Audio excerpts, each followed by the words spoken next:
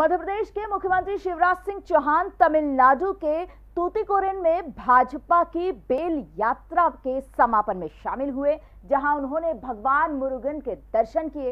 इस दौरान उन्होंने भगवान मुरुगन का अपमान करने वाले संगठनों पर जमकर निशाना साधा।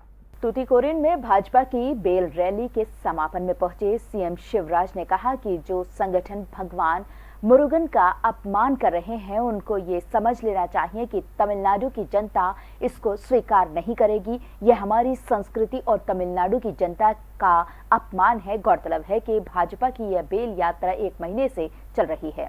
यह यात्रा तमिलनाडु में भगवान मुरुगन के छह प्रमुख मंदिरों से निकाली गई है। इसको आगामी विधानसभा चुनाव और तमिलनाडु में राजनीतिक दृष्टिकोण से भी देखा जा रहा है। हाल ही में गृह मंत्री अमित शाह इसमें शामिल होने पहुँचे थे। कहा यह भी जा रहा है कि बेल यात्रा तमिल गर्व तमिल भगवान मुरुगन तमिल भावनाओं के सम्मान तमिल संस्कृति को बढ़ाने के लिए निकाली जा रही है। मेरा सौभाग्य है बेल यात्रा जो हमारे अध्यक्ष जी मुरुगन जी के नेतृत्व में निकली। तमिलनाडु की संस्कृति हमारी परंपराएँ और हमारे जीवन मूल्य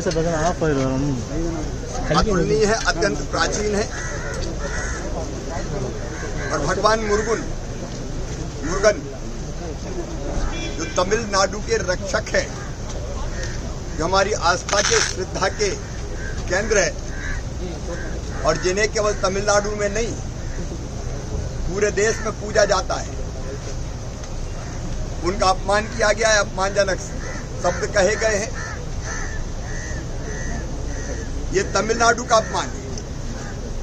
हमारी संस्कृति परंपरा और जीवन मूल्यों का अपमान है। मैं हमारे अध्यक्ष श्री मुरुगन जी को बहुत बधाई देता हूँ और उनका अभिनंदन करता हूँ। संगीत की स्वर लहरियों से सांस्कृतिक ताने बाने तक चंबल के पीड़ों से नक्सलवादियों के गढ़ तक। झोपड़ी से महलों तक। ठेलों से मेलों तक पगडंडियों से सड़कों तक गाँव से शहरों तक व्यापार से उद्योगों तक। राजनीति से कूटनीति तक। दखन न्यूज़। आपके हक।